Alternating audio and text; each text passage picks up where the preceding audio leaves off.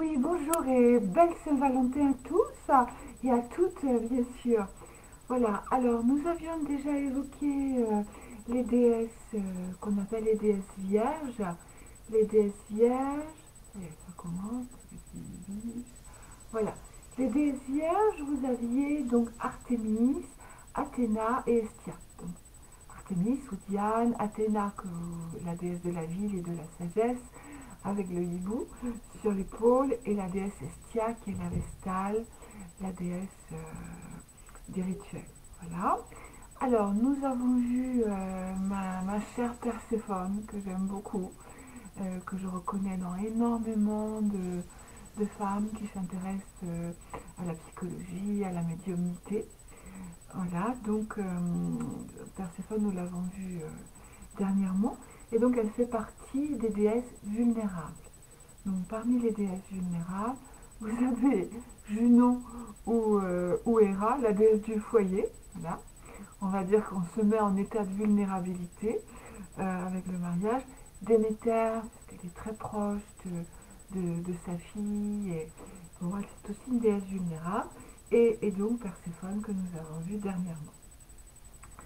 Et nous arrivons à un type de déesse euh, très particulier parce que, euh, euh, j'allais dire deux mots à la fois, donc Aphrodite représente la déesse alchimique. Voilà. Pourquoi? Parce qu'elle a un pouvoir de transformation, action magnétique. Alors, Aphrodite, nous allons le voir en long, en large, elle n'a pas, il n'y a pas de souffrance, contrairement à Perséphone. Elle n'est pas victime. Voilà, donc elle n'a pas été euh, raptée. Voilà.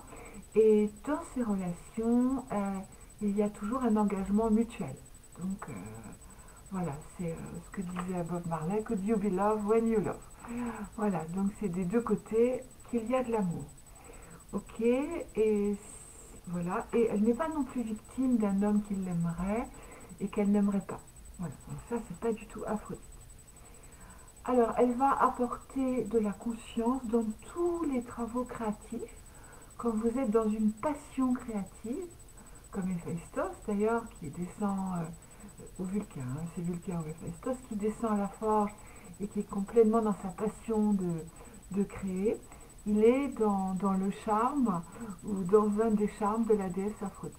Voilà, donc il est en amour avec sa création. Voilà, les visions de carrière aussi peuvent vous mettre dans cet état d'amour d'Aphrodite. Et euh, on va parler euh, plus précisément mais de, l'effet Pygmalion. Voilà, donc vous savez que Pygmalion va tomber amoureux de sa propre sculpture mais cette sculpture va être rendue vivante par Aphrodite. Voilà, donc euh, c'est cet état amoureux permanent que, dont, nous allons parler euh, au sujet d'Aphrodite. Très bien.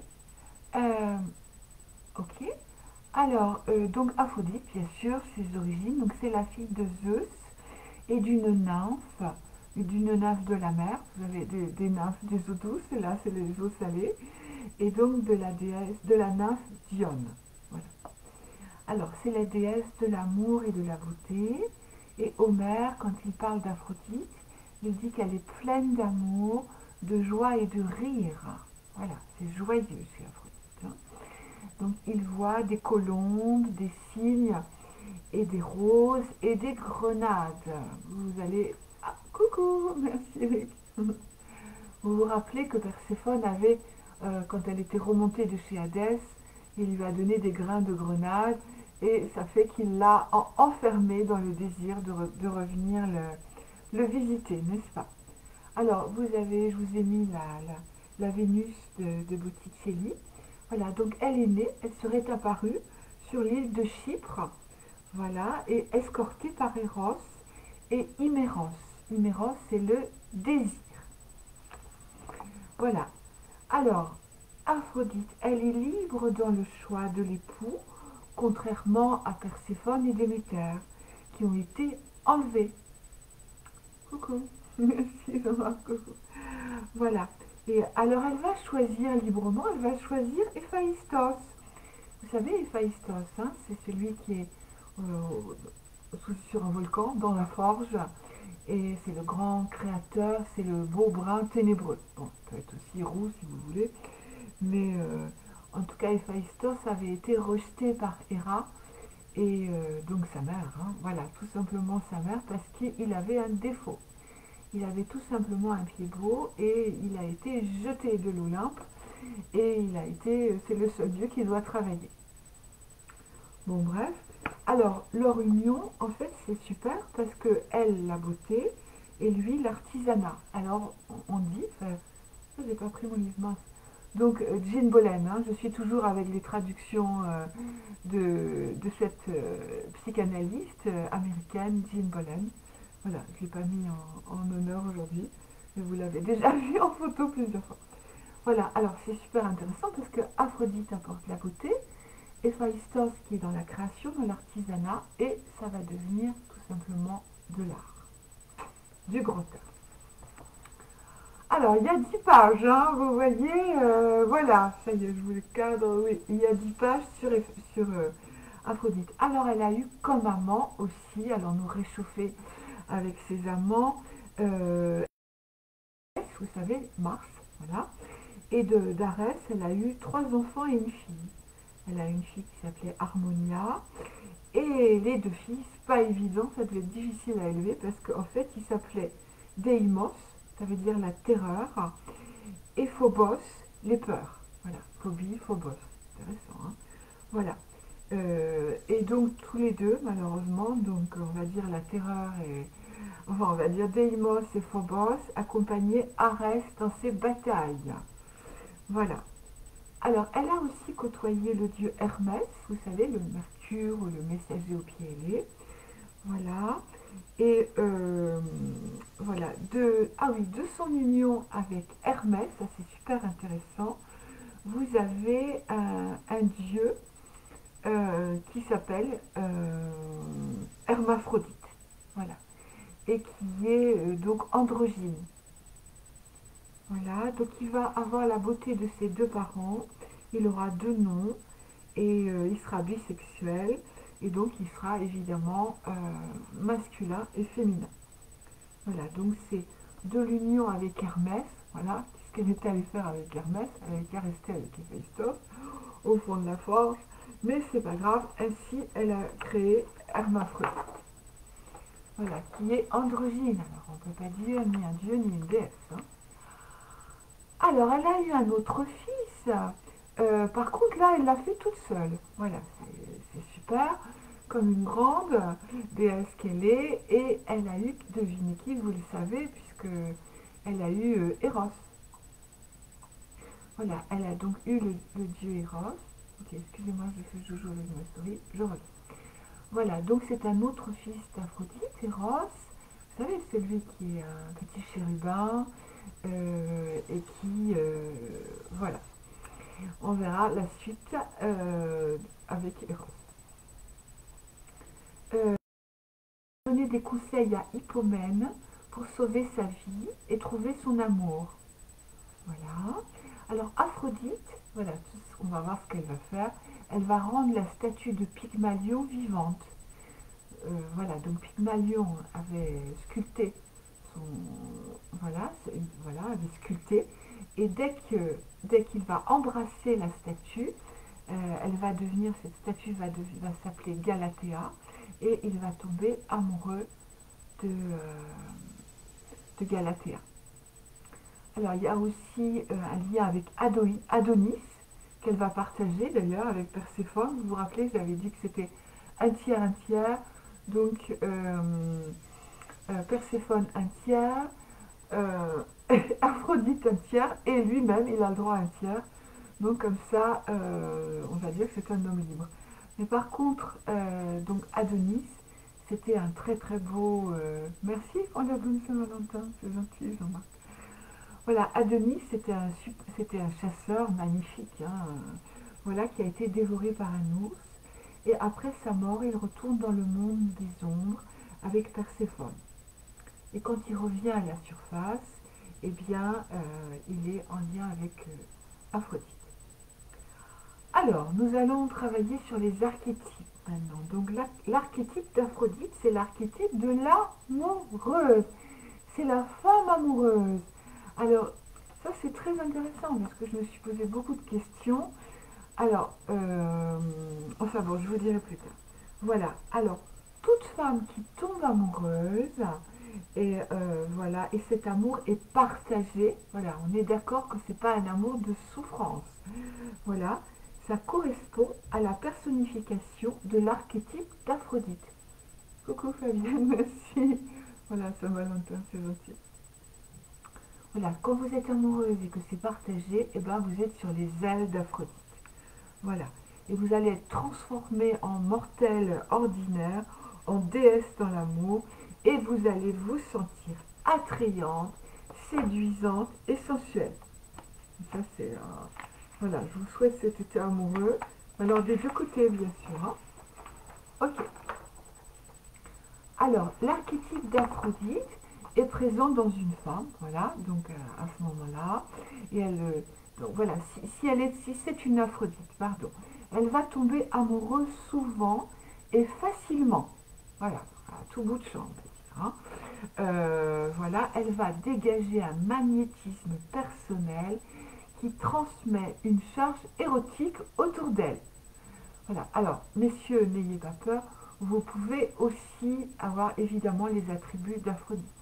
Voilà, on va pas être... Euh, euh, moi, je trouve plus le mot, mais c'est pas grave. Euh, ah, je ne trouve pas celle, qui dénigre les hommes. Bon, je trouverai plus tard. Bon, il prouve que je n'ai pas dû le pratiquer. Voilà, alors elle transmet une charge érotique autour d'elle, ce qui était évidemment puni euh, dans la société puritaine. Donc vous avez un exemple d'amour euh, dans une société puritaine. Vous vous rappelez du film euh, Les Amants du Nouveau Monde. Voilà, avec des Morin, bien sûr. et en anglais, c'est ça qui est intéressant, ça s'appelle Les Amants du Nouveau Monde, c'est The Scarlet Letter. Vous vous rappelez qu'elle a été stigmatisée par un A pour symboliser l'adultère. Et, donc le titre du film, euh, c'est The Scarlet Letter. Ok, euh, vous avez... Euh, donc les femmes sont punies en fait hein, de, dégager un tel magnétisme. Bon, évidemment au Moyen Âge, voilà, on passe les années, mais Clara Bow dans les années folles, et vous avez Ingrid Bergman qui s'est retrouvée en exil. Alors, falling in love. Voilà, alors quand deux êtres s'aiment, ils rehaussent de la lumière dorée, de la beauté, et c'est offert au monde. Regardez un couple d'amoureux, euh, voilà, c'est tellement beau à regarder, il ne faut pas être envieux, ni, voilà, ni, être dans la souffrance de voir un couple d'amoureux. C'est offert au monde, c'est un parfum qui se dégage. Et donc, euh, voilà, vous avez de la magie dans l'air. Et donc, quand vous êtes amoureux, bien sûr, vous vous sentez beau, spécial. Vous devenez dieu ou déesse. Et vous sortez du moi ordinaire. Donc, ça, c'est génial. Et vous avez autour de vous un champ d'électricité érotique qui est généré. C'est mieux qu'une dynamo. Voilà ce qui va créer une attraction mutuelle. Les impressions sensorielles sont intensifiées. La musique, par exemple, ça va être plus fort, les parfums, les goûts et bien sûr le toucher. Voilà, si la femme que vous, vous êtes tombé amoureux vous touche, un peu juste et euh, vous montez très très haut, hein, au septième ciel. Par contre, si l'amour est non partagé, voilà, on a un sentiment cruel d'un désir et qui est bien sûr constamment repoussé cette intensité d'aimer se retourne et amplifie la peine. Le, voilà, vous pouvez... Le pouvoir d'Aphrodite, voilà, euh, c'est décrit. J'étais pleine de désirs, jamais connu auparavant. C'était merveilleux et effrayant à la fois. C'est comme si mon corps savait maintenant. Voilà. Alors, la naissance d'Aphrodite est symbolisée, par le premier orgasme de l'amour. Ça, c'est waouh, c'est un scoop aujourd'hui, hein, 14 20 février. Et par un nouveau désir d'intimité charnelle. Donc, c'est différent de Déméter qui va chercher la sexualité pour avoir un enfant. Aphrodite est dans une expérience romantique. C'est l'amour romantique. Et donc, l'amour romantique va donner la créativité, avec les peintures, la danse, la sculpture, l'écriture, la composition de musique, les inventions, une nouvelle théorie. Euh, quand vous êtes amoureux, vous pouvez voilà, être dans toutes ces créations. Donc ce sera une activité absorbante, fascinante, comme un processus sensuel, un état amoureux. Même si ce n'est pas symbolisé par une personne, vous pouvez, dans la création, avoir avalé Aphrodite et être dans cette passion euh, créatrice et vous vous sentirez sur les ailes de l'amour. D'accord? Tous les sens sont décuplés, les canaux de perception sont ouverts. Vous avez par exemple la présence d'Aphrodite euh, chez Isadora Duncan, voilà, et aussi chez George Sand. Vous voyez que ces deux êtres, Isadora Duncan, la, la, danseuse exceptionnelle, et évidemment Georges Sand. Alors, comment cultiver Aphrodite? Alors, euh, c'est vraiment Aphrodite, elle est dans l'ici et maintenant. Voilà. Si vous voulez cultiver Aphrodite ou être dans l'état merveilleux d'Aphrodite, il faut lâcher le but et, voilà, être dans l'ici et maintenant et s'ouvrir aux sensations multiples. Euh, la femme Aphrodite, par exemple, vous avez Jean Harlow, euh, Lina Turner, Marilyn Monroe, qui étaient reconnaissables, devinez par quoi? Par leur pouvoir d'attraction, plus que par leur apparence. Donc allez-y, mesdames, développez Aphrodite, avalez le filtre, parce que peu importe que vos cheveux soient gris, vous vous trouviez trop forte, trop, trop ou voilà, tout ce que vous voulez, vous pouvez émaner cette chaleur magnétique naturelle et cette sensualité gracieuse et naturelle. Donc c'est quelque chose qui émane de vous. C'est cette source d'amour qui, vit en vous et qui se déverse sur tout ce que vous regardez, sur tout ce que vous touchez, sur ce que vous pensez, sur ce que vous créez. Euh, voilà. Alors, euh, on va parler de l'enfant Aphrodite. Donc les parents, euh, quand ils ont une petite Aphrodite, voilà, ils vont tout de suite le sentir et ils vont avoir une éducation qui vont mettre en valeur le côté attractif, on va dire, des jolies petites filles. Bon, ça, ça peut être dangereux, bien sûr. Hein. Voilà, c'est des gens de parents qui mettent euh, en valeur que ce côté-là de l'enfant, mais au moment de l'adolescence, la mère peut se transformer en marâtre, ça va vous rappeler euh, Blanche-Neige. Et là, donc la mère d'une très très jolie petite euh, jeune femme euh, va avoir beaucoup de mal avec sa fille.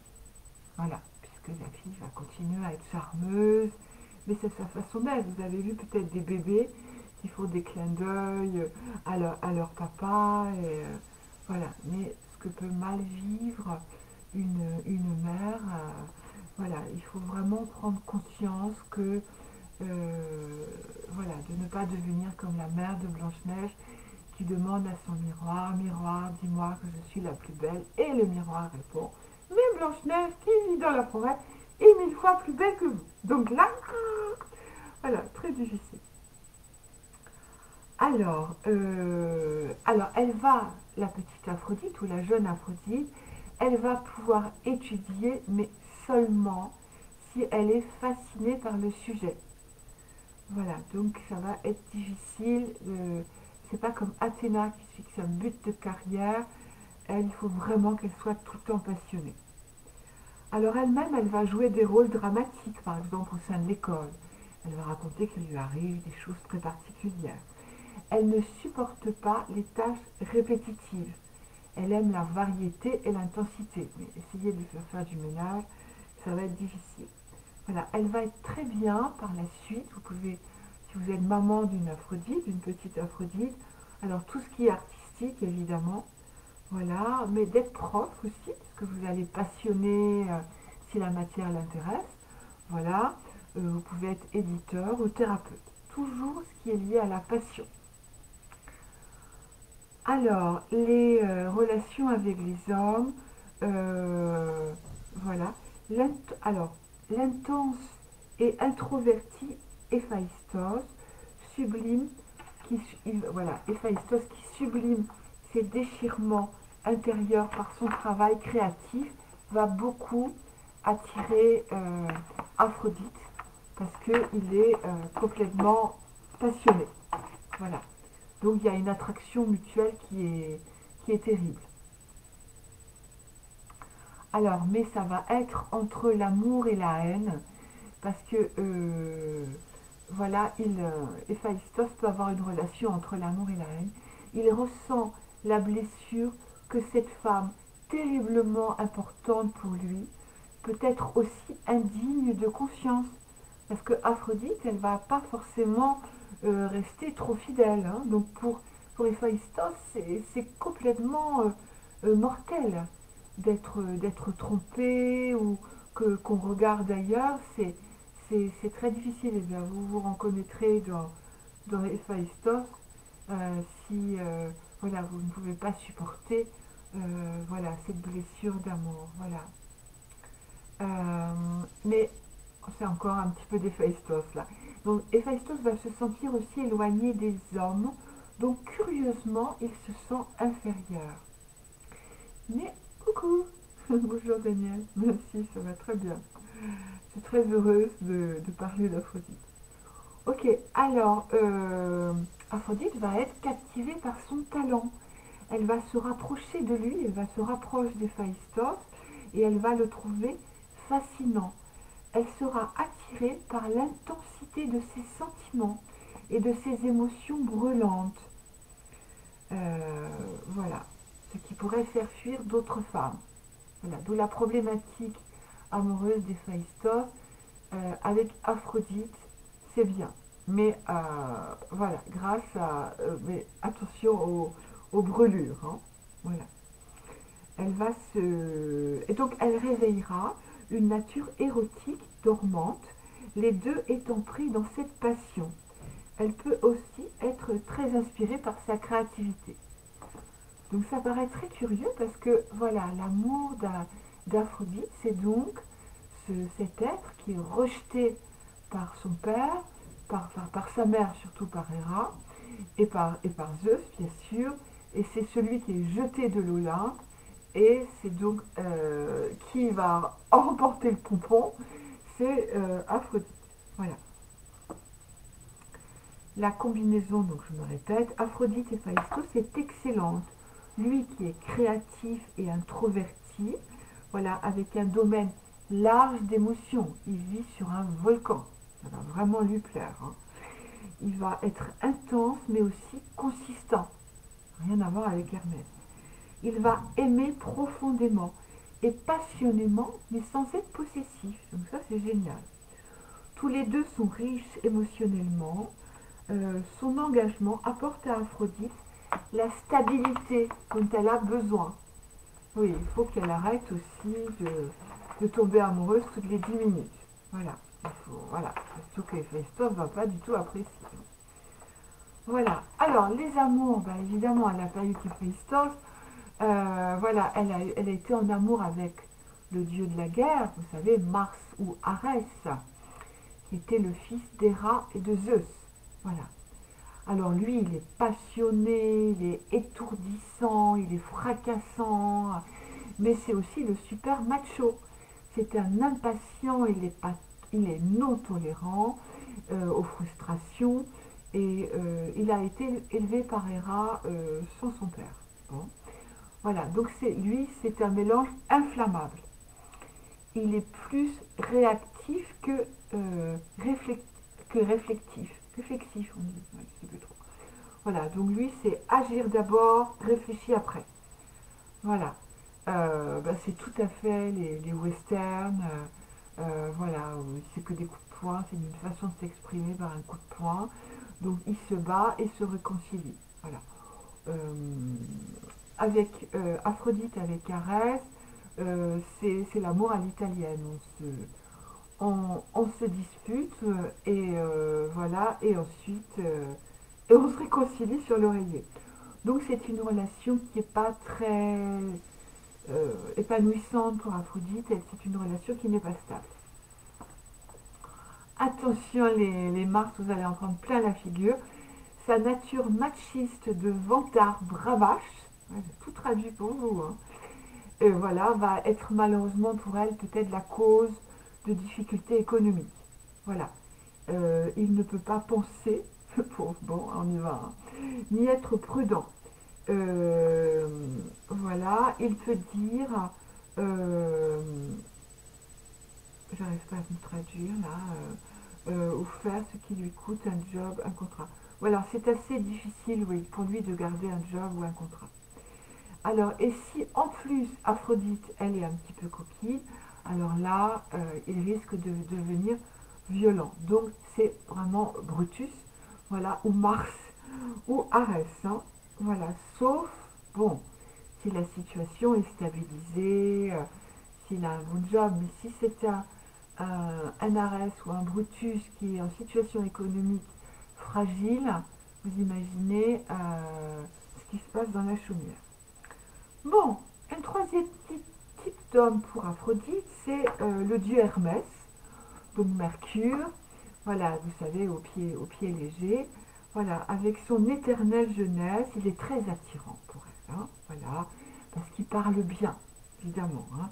Il est toujours dans le, mouvement, il est dans la rixe verbale, donc il va l'entraîner dans, voilà, dans une rixe verbale. Il est euh, talentueux, charismatique, non discipliné et c'est le bon parleur. Attention les Aphrodite, euh, voilà. Ne vous laissez pas trop séduire. Ah, comme quoi je suis, parce que j'ai une page, la page 9 maintenant. Euh, voilà, donc c'était tout. Euh, sur, euh, c'était la 7. Ah, excusez-moi, j'ai du désordre. Voilà, excusez-moi. C'est Hermès qui m'a perdu, évidemment. Voilà. Alors, il s'exprime en peut-être, alors voilà, c'est l'inverse des Phaistos, qu'il n'y a pas de stabilité. Alors oui, un jour il va, il, a envie de se marier, et le lendemain, bon, juste on se met ensemble et ça suffira. Voilà, donc il sera le dernier à s'engager. C'est le Peter Pan. Voilà, Hermès c'est le Peter Pan qui ne grandira jamais. Euh, par contre, Hermès, quand il va devenir mature, il, il va, ça y est, je me vois plus, c'est pas grave. Euh, je pense que vous continuez à me voir, il va s'engager avec Estia, vous savez, la Vestale, la déesse du foyer, mais un Hermès mature. Bon, puisque je ne me vois plus, je pense que vous me voyez, je vais me nouer le pull parce que j'ai froid. Voilà, ah, donc avec Estia, donc ils peuvent être intensivement heureux ensemble, euh, voilà, tout en étant indépendants. Avec Estia, elle veut être tranquille toute seule dans son temple. Hein. Euh, voilà, et ensuite, en fait, ce sera super parce qu'ils seront non exclusifs. En plus, je profite que je vois euh, l'écran noir, mais je pense que vous voyez. Faut hop enfiler. Voilà. Et bonjour. Ok. Alors, avec les autres femmes, donc ça c'est intéressant. Mon Dieu, mon Dieu. Alors évidemment, Hera, Junon, l'épouse de Zeus, euh, va pas du tout euh, apprécier Aphrodite. Hein. Voilà, Aphrodite, elle n'est pas du tout en communion avec les femmes jalouses. Alors, évidemment, si vous vous invitez, vous avez un cercle d'amis, et vous invitez le prototype d'une Aphrodite chez vous, elle va enflammer tous les hommes, mais les femmes aussi. Hein. Et, donc, si vous avez tendance à être jalouse, ça va, vous, allez grincer des dents. Voilà. Par contre, elle, elle, euh, voilà, elle peut avoir un grand cercle autour d'elle d'amis femmes, sauf Hera, hein, qui voilà, euh, est jalouse, qui vont apprécier son charme et sa spontanéité. Imaginez les Perséphones qui vont baver d'envie. Mais comment fait-elle? Mais qu'est-ce qu'elle a? Ah, bah, tiens, elle a un chemisier rose. Ah, bah, ça doit être ça. Il faut que je m'achète un chemisier rose quand même. Voilà. Ou alors, ça doit être son parfum, ou c'est ses gestes. Voilà. Et euh, donc, elles vont, elles vont en baver, ou Artemis aussi, évidemment. Hein, voilà. Euh, elle va peut-être, euh, ok, enlever ses armes. Alors, et vous avez beaucoup autour d'Aphrodite, vous pouvez avoir beaucoup d'accompagnatrices, voilà, qui la suivent en fait. Alors, si elle aime les femmes, si euh, Aphrodite aime les femmes, euh, elle sera intensivement, bien sûr, impliquée dans des relations. Elle va décider de prendre tout ce que la vie va lui offrir.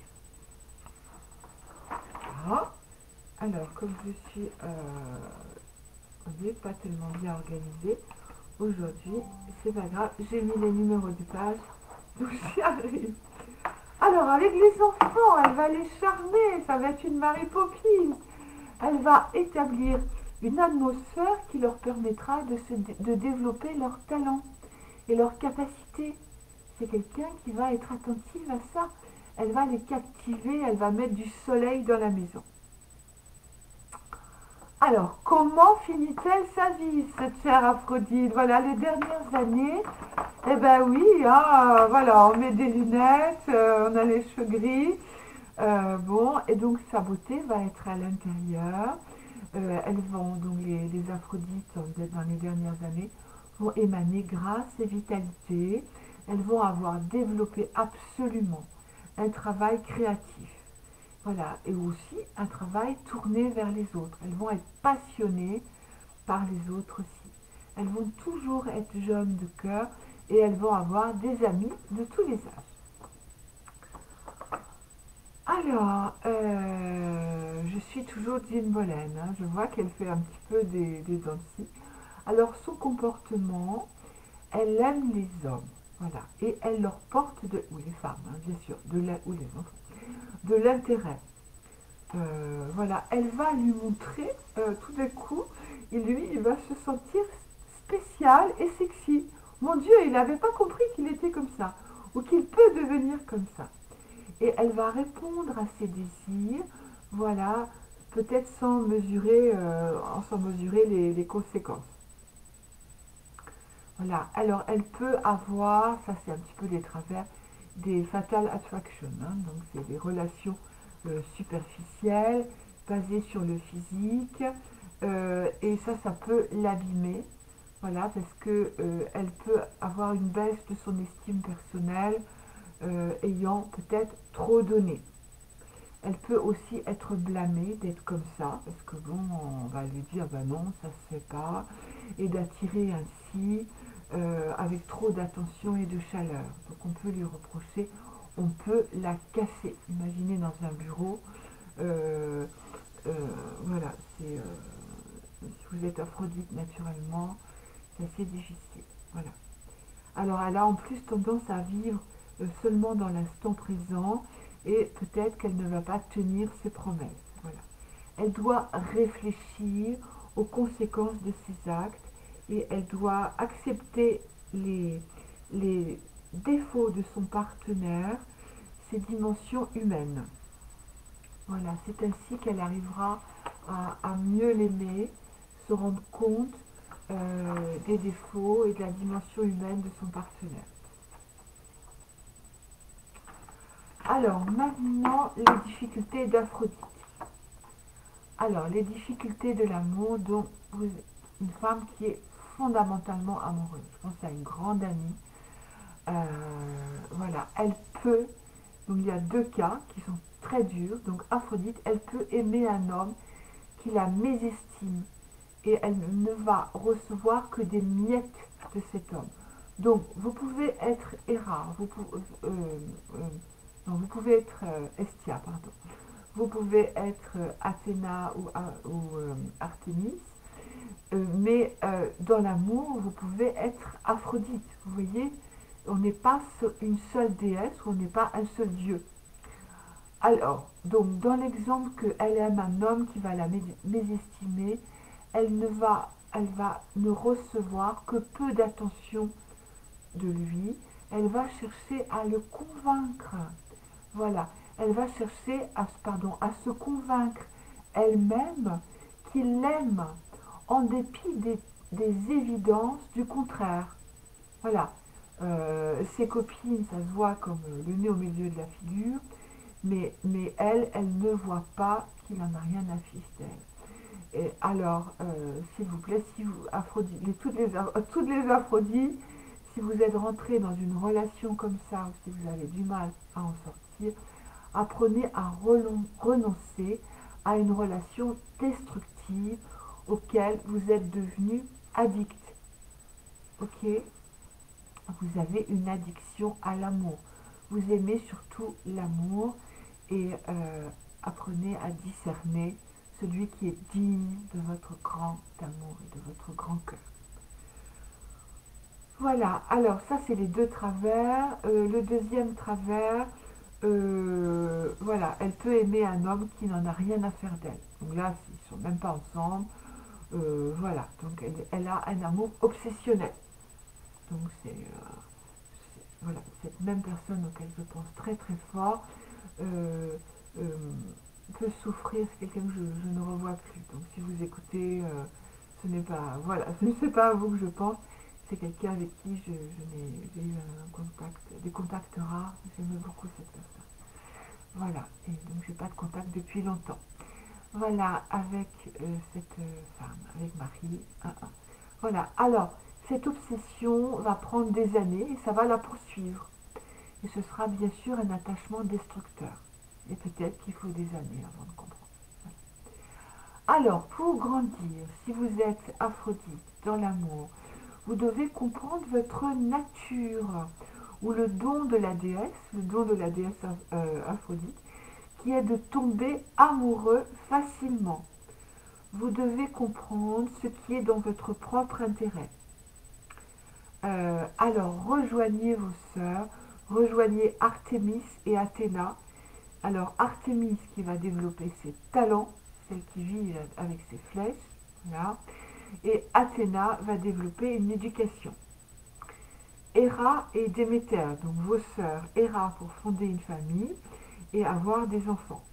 Et euh, Héra pour fonder une famille et Déméter, pardon, pour avoir des enfants. Estia, votre sœur Estia, pour développer, bien sûr, l'ésotérisme, la méditation. Et Perséphone, pour développer les expériences, la fantaisie sensuelle, le contact d'âme à âme. Alors, j'ai dû euh, vous parler, euh, c'est la dernière page, c'est pas mon dernier mot. Alors, j'ai dû vous parler euh, de Eros et Psyché, donc je vais de, nouveau très rapidement. Donc, merci Eric, c'est très gentil. Voilà, je me nourris sous, ta chaleur. Alors, Eros et Psyché, donc vous vous rappelez, Psyché n'était pas une déesse, hein, c'était une fille du roi, mais tellement belle qu'elle ne trouvait pas de mari. Ben oui, ça, ça peut être aussi un problème. Et qu'on l'a abandonnée sur un rocher, en plein milieu de la mer. vous voyez, elle a des correspondances avec euh, Aphrodite, hein, qui venait des eaux. Euh, et vous allez voir pourquoi je vous parle d'elle. Et en fait, elle a été enlevée par Eros. Et Eros, vous vous rappelez, c'est donc le fils d'Aphrodite. Alors malheureusement, euh, euh, euh, Psyché, écoutant ses sœurs qui lui ont dit non mais c'est pas possible, ton, ton compagnon, ton Dieu, il est peut-être dangereux, il va te faire du mal, il va peut-être te dévorer un jour, tu ferais mieux de, de regarder, de tirer clair et voilà. Donc malheureusement elle va le brûler parce qu'elle va se rapprocher la nuit maladroite, euh, chère psyché. Psyché, ça veut dire l'âme humaine. Donc psyché, psychologue, psychiatre, etc. Hein, c'est l'âme humaine. Donc c'est très important, on ne parle jamais de ce, enfin très rarement de ces gens. Et donc ne perdons pas le fil d'Ariane, mais non, c'est pas Ariane, donc ne perdons pas le fil, donc en le brûlant, et il va vraiment avoir très mal, et il va se précipiter chez maman. Et maman, c'est Aphrodite. Donc Aphrodite va donner des épreuves à Psyché. Voilà. Et vous allez voir que ces épreuves, en fait, sont des occasions de grandir. Donc si vous êtes euh, Aphrodite, vous allez euh, avoir quatre épreuves qui vont vous donner des occasions de grandir. Donc la première épreuve, c'est qu'elle lui a mélangé des graines de toutes sortes. Ça, vous, ça va vous euh, faire penser évidemment à Cinderella, à Cendrillon. Vous allez devoir trier des graines et ça c'est très très dur. Donc l'aide de... Je ne savais pas que je pouvais lire sans les lunettes. L'aide d'Aphrodite, ça va être euh, les fourmis, les insectes qui sont liés à votre intuition. Et euh, en fait, le sens de cette épreuve, de trier, c'est de regarder en soi, trier, si votre relation n'est pas bonne, vous l'enlevez, vous enlevez le caillou des lentilles. Alors, trier, c'est regarder en soi, euh, euh, inspecter vos sentiments, vos valeurs, vos, motivations, les séparer, voilà, séparer l'important de l'insignifiant. Donc ça, c'est sa première épreuve, trier les graines. Deuxième épreuve qu'elle impose à Psyché, voilà, elle doit aller conquérir la toison d'or. Et donc là, on va dire, c'est se battre pour acquérir une position de pouvoir. N'ayez pas peur, chère Aphrodite, du pouvoir. N'ayez pas peur de vous affirmer. Les femmes de pouvoir, ça ne fait de mal à personne. On a besoin de femmes de pouvoir. D'accord? Voilà. Et donc là, elle va se faire aider d'un bâton de roseau. Voilà. Vous voyez, prenez votre bâton de pouvoir. Voilà. Et elle va, euh, avec ce, roseau, elle va observer, elle va attendre et elle va acquérir du pouvoir. Ok Troisième épreuve, euh, on va lui demander, Aphrodite demande à Psyché de remplir le flacon de cristal. Et là, elle va avoir l'aide de l'aigle. Voilà. Donc, euh, l'aigle, c'est celui qui voit de haut, bien sûr. Il a la capacité de prendre du recul. Vous voyez, quand vous sentez que la relation euh, devient compliquée, vous, sentez, vous sentez le malaise, eh bien, prenez donc du recul ne foncez pas dedans.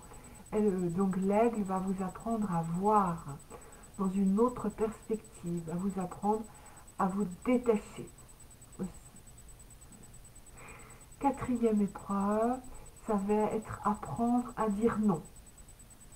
Voilà, donc euh, elle demande à Psyché de descendre chez Perséphone pour remplir un onguent de beauté. Et là, euh, elle va devoir refuser de secourir des personnes en difficulté. Elle va devoir apprendre à dire non. C'est fait, hein, bien sûr. Donc elle est descendue en enfer, on va dire, chez Perséphone, ou dans le underworld. Voilà, c'est plus joli. Hein. Voilà, elle va apprendre à choisir ce qui est le mieux pour elle, et elle va apprendre à dire non, et elle va devoir ignorer les please, vous savez, les, les beggars, les gens qui vous, qui vous supplient. Voilà, ça, elle apprend à ignorer ça. Voilà, donc c'est la fin euh, d'Aphrodite. Euh, je voulais vous parler aussi, euh, voilà, je vais vous parler aussi de la pomme qui a été donnée au banquet, à un banquet grec. Et cette pomme était destinée à, ce que la plus belle des déesses la, reçoive. Et il y avait donc euh, comme déesse, il y avait, Athéna et il y avait Aphrodite.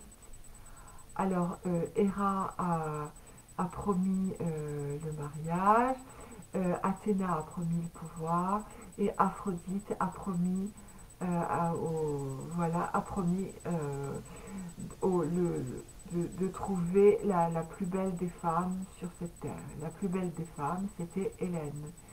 Et donc, euh, Paris, c'était lui qui a euh, pris cette pomme, la pomme d'Aphrodite, et il est, euh, cherche, il est donc tombé amoureux d'Hélène. Et malheureusement, ensuite, il y a eu la guerre de Troie. Voilà, parce qu'il avait rapté Hélène à Ménélas. Voilà.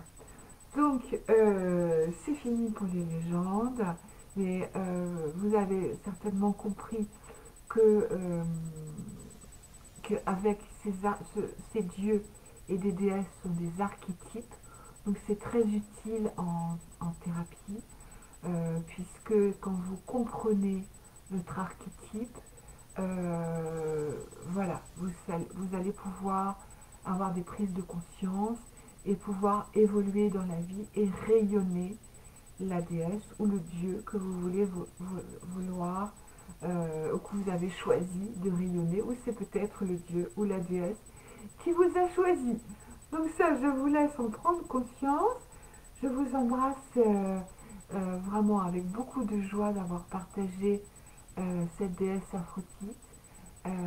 et puis à bientôt. Il nous reste des dieux grecs, il nous reste encore évidemment des déesses. Je vous souhaite une très très belle journée. Le ciel est très gris en Montpellier, Euh, je vais peut-être continuer euh, avec les pierres et je veux juste, puisque on est sur écran, je vais euh, voilà, faire quelque chose en, lithothérapie. Donc je, me permets de vous présenter cette pierre qui est magique, qui est un lapis lazuli vous connaissez le brillant sous la pierre, la pyrite. Voilà, donc cette pierre qui m'a été, on va dire, offerte, parce que c'était vraiment un cadeau. Et euh, j'ai donc ouvert, euh, j'ai monter en vibration cette pierre, je l'ai entendue, je l'ai donc captée, et maintenant elle est devenue une pierre de pouvoir. Donc dans l'après-midi, je vais recevoir, je vais vous le remettre par écrit, euh, vos, minéraux, vous les prendrez en photo. voilà, assez, euh, voilà, des, beaux minéraux, on va dire, une pierre importante. Et je vais donc les ouvrir et euh, faire venir leur, le, pouvoir qu'elles recèlent pour le mettre à votre disposition. Et vous allez entendre parler la pierre. Donc je la repose délicatement. Voilà. Et voilà, de nouveau au revoir et merci pour votre attention. Et euh, journée magnifique à vous. Et euh, l'amour est en vous. Euh, prenez-le en vous.